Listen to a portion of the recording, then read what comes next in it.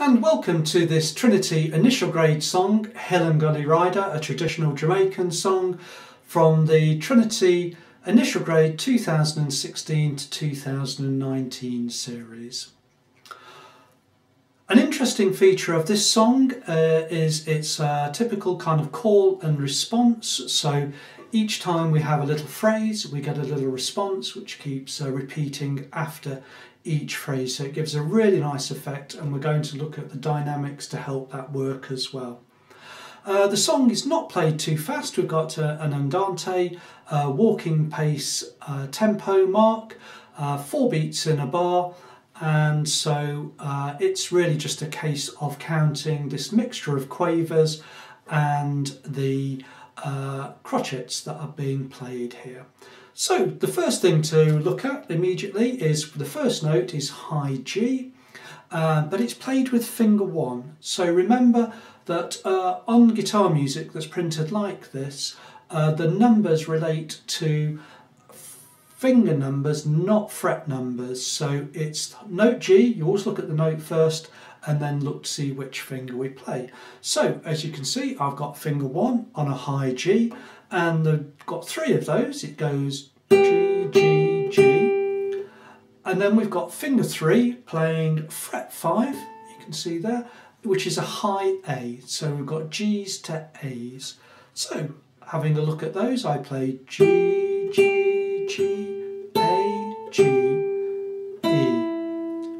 So I'll play that just a little bit faster to help us get the rhythm. Counting in half beats for the quavers. One and two and three, four. There we go. So we get a nice rhythmic effect, and I'll play it a bit louder because then we'll hear what the phrase afterwards sounds like.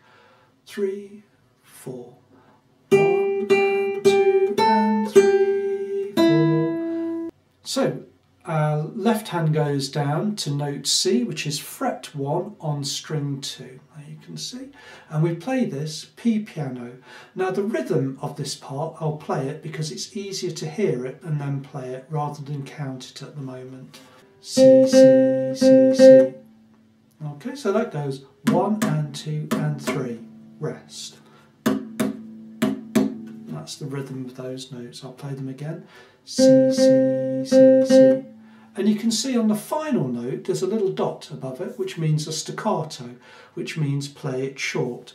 So we get C, C, C, C.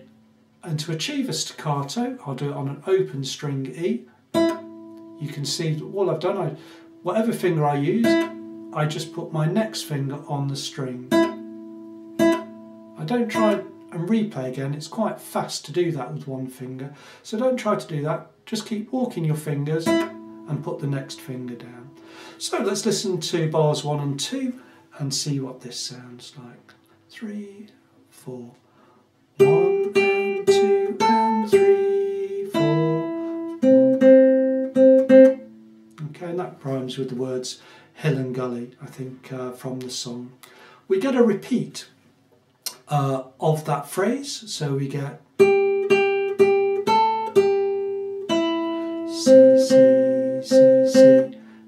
beat four, we get two quavers, so we get four and C, D, E, C, A, G. Okay, so I'll play bar four and bar five together. Three, four, C, C, C, C, C, D, E, C, A, G. And now you can see how the two, uh, the next phrase uh, starts off in bar 4 and then moves into bar 5. We finish off with C, C, C, C, and then we get our quavers, C, D, moving in to bar 7. C, D, E, C, A, A, G. The two quavers there for the A, A's,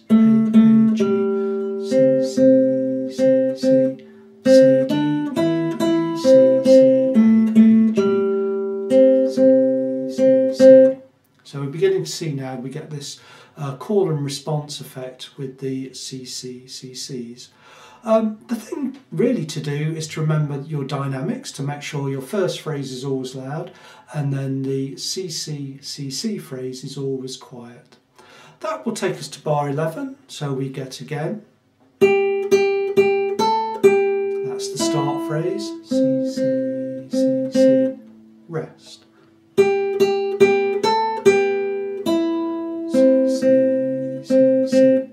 Rest. C, C, C, C, rest. And then, of course, you're adding in the rests to make uh, a good effect of separating out the phrases. Um, the best advice uh, I give in this song uh, is go slow to start with and make sure you hear these rhythms. You can hear them from this uh, demonstration or from the audio tracks that I've put on the page as well. Um, so you can actually hear the song.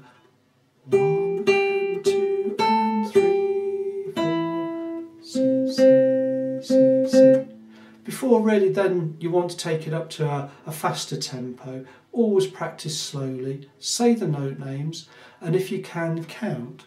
One and two and three, four, one and two and three, four. And then on beat four, we've got the rest. Um, so I hope this has been a useful video for you. Uh, take your time, work through each little section best you can uh, and listen to the audio tracks and my demonstration to help you see how the song all fits together.